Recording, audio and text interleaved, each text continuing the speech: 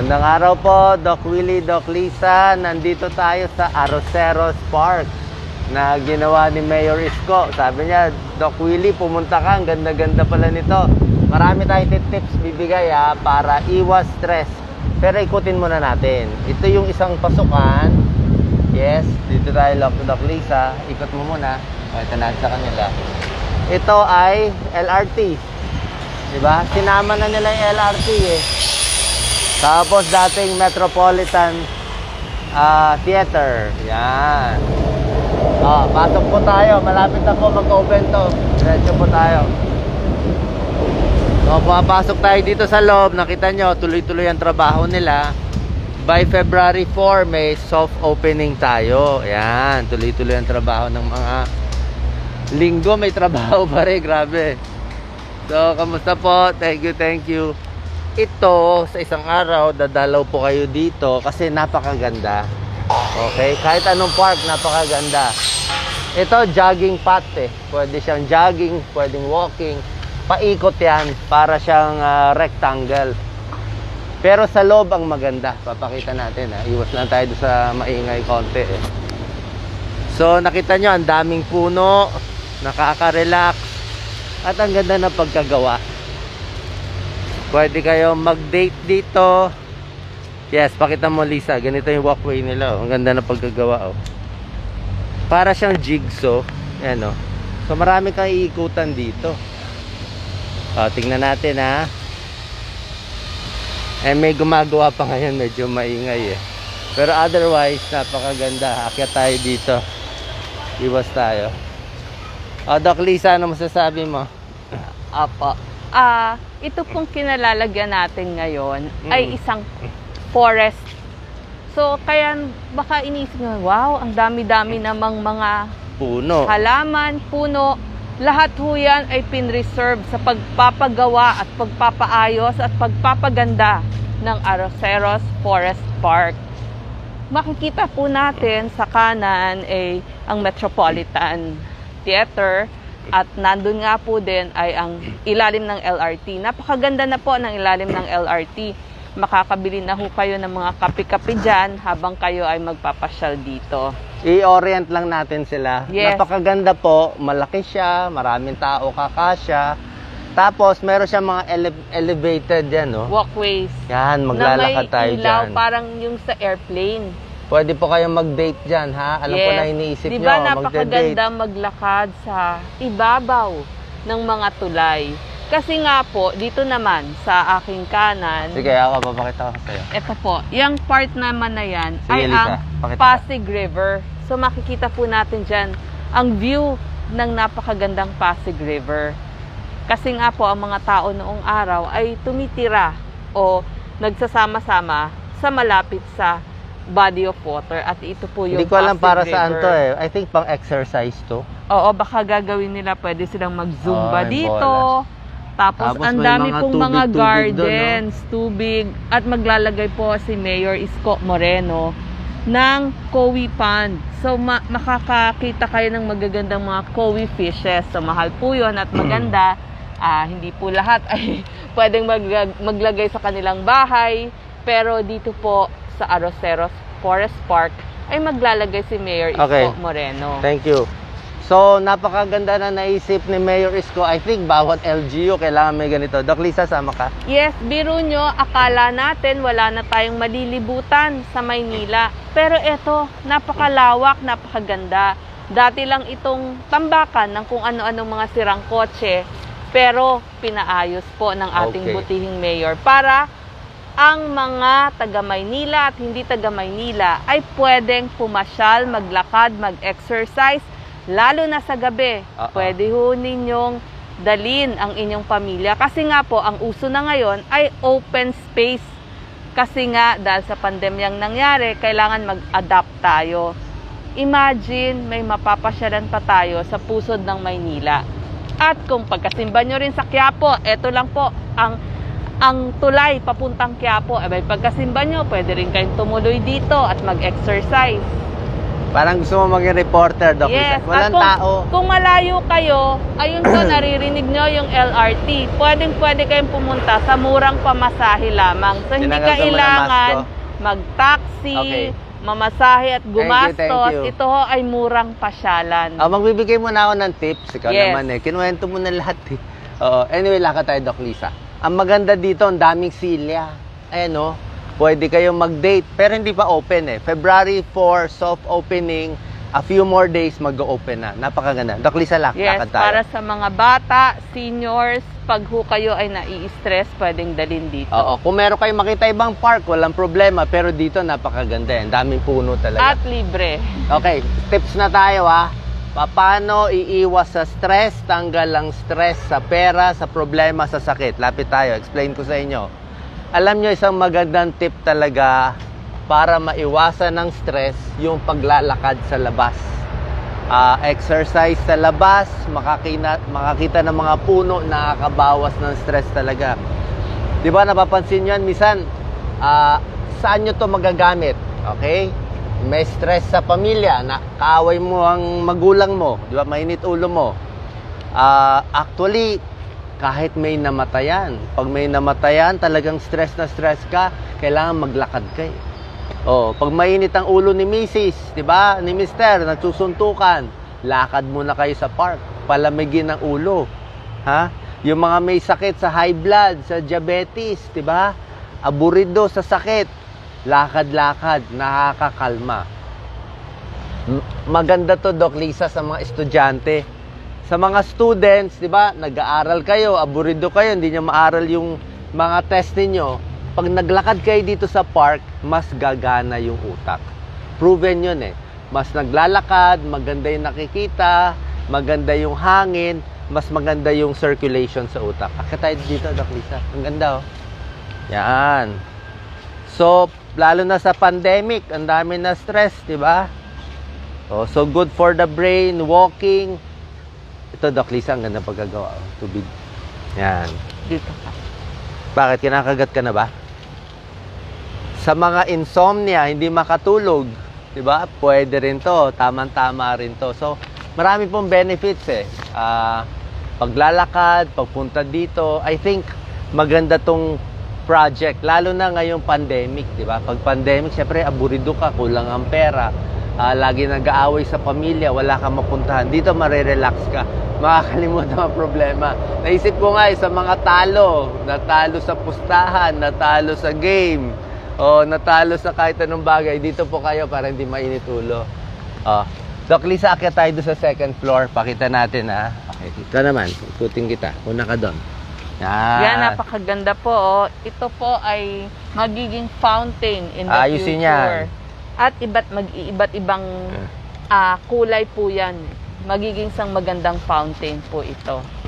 Ang ganda, ang ganda ng setup talaga. eh. Ito, ang daming silya, oh. Wala pa kayong nakitang ganitong kagandang park, itong Aroseros Forest Park.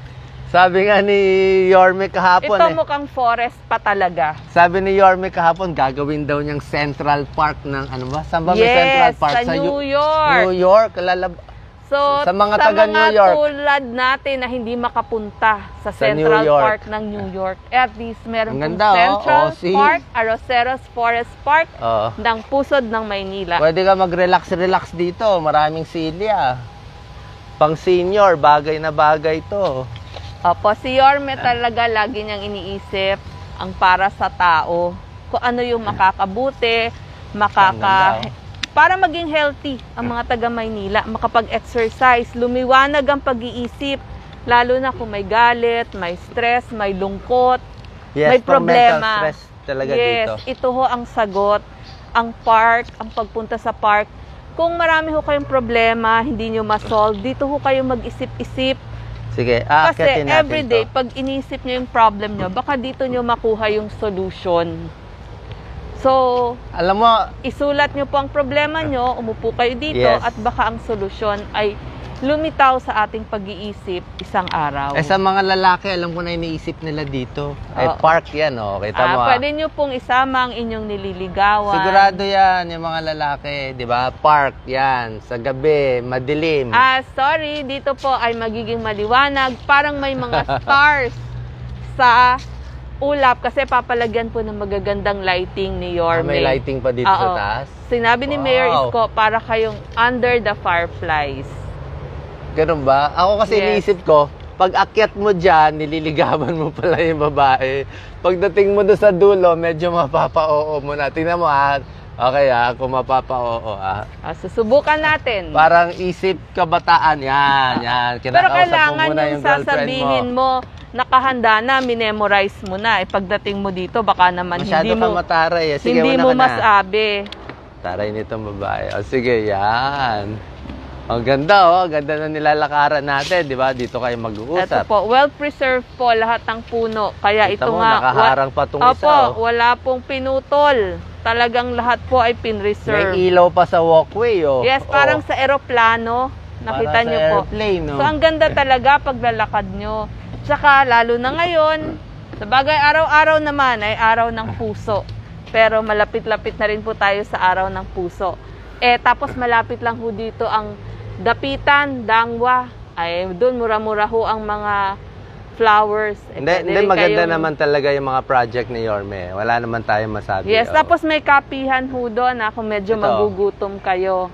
Ti- ti- tignan nyo lang tong view na to. Mahal ang bayad sa view na to. Yan, oh, kita mo. Yung araw, ah, sumisingit, to. Parang nasa, yan, oh, yung araw, oh, sumisingit sa gitna ng mga puno, oh. Yes. Ang ganda nga nung sinabi niya. Siyempre, hindi naman ho tayo, lahat tayo ay makakarating sa New York. Wala tayong pera pang New York. Oo, at least dito, parang nandun na rin tayo. Hindi, maganda siya. Marami bang langgam, Lisa? Sabi mo kanina. Ah, kanina lang may hantik. So, dito po, nakita ko yung ibang mga puno, meron din hong label. So, maganda ho yan sa mga nag-aaral ng botany. Kasi Oo. pag taga-UST kayo, pag dito kayo sa University Belt, dito ho, iba't ibang klase ng halaman ang makikita nyo. Kasi nung, nung botany student tayo, talagang yan ho Una yung na, mga para makita ka. inaaral natin. O, kita mo, dito sa gitna, oh, I think medyo pang exercise to eh. Itong Mm-mm. portion na to, ayan, oh, inaayos, oh. Either may magandang view o pang exercise. O, tulad Oo. na sinabi ko, pagdating dito, close na kayo ng kasama mo dito. 'Di ba? Magiging memorable. Yung pinasok natin sa may side eh. Pupunta tayo doon sa harap mismo para ma-orient sila.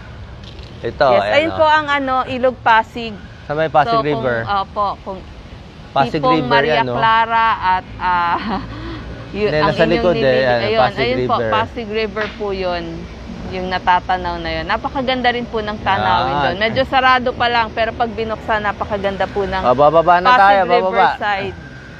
Tsaka maganda tong mga hagdanan niya, ha? Ah. Ayan, oh. Dito po sa ilalim na ito ay doon ilalagay yung Cowie Pond o yung Ah. Cowie fishes natin. O, tingnan natin yung Cowie fish. Wala pa eh, pero sineset up na. Opo, kasi mahirap mag-alaga.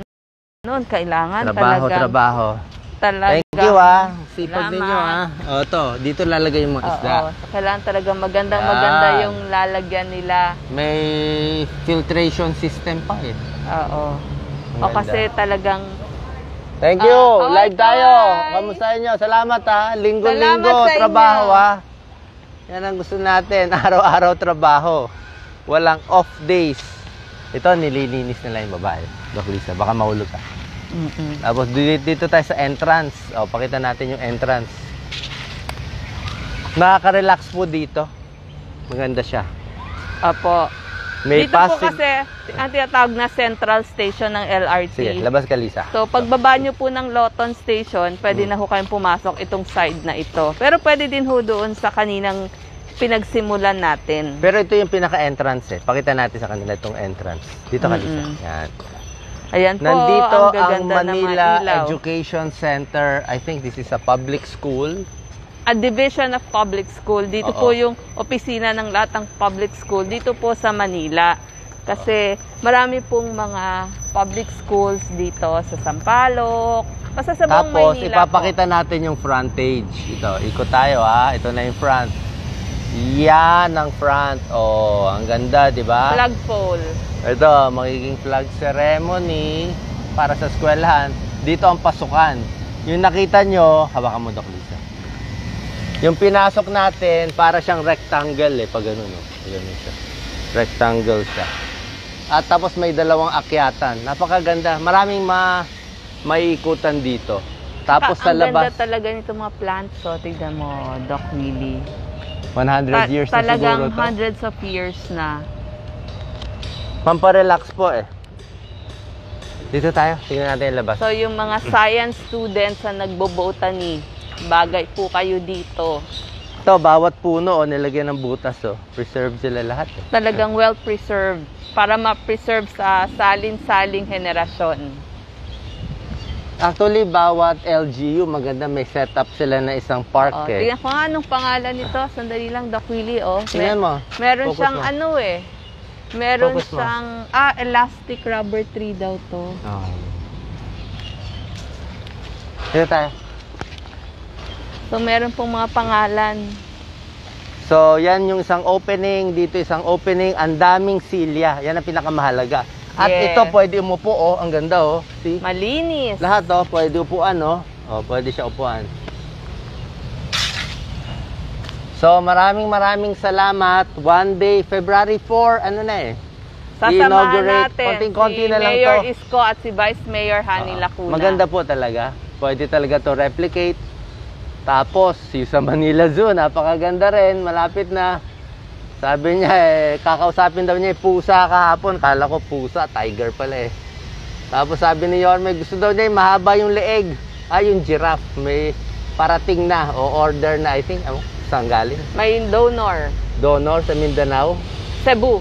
From Oo, Cebu. eh, papatulugin siguro muna yung giraffe. Pero aapod dito, para masaya yung mga tao. At marami ng equipment ng Hospital ng Maynila. Nako, pang CT scan, pang heart operation darating na. So, maganda po eh. Marami talaga nagagawa.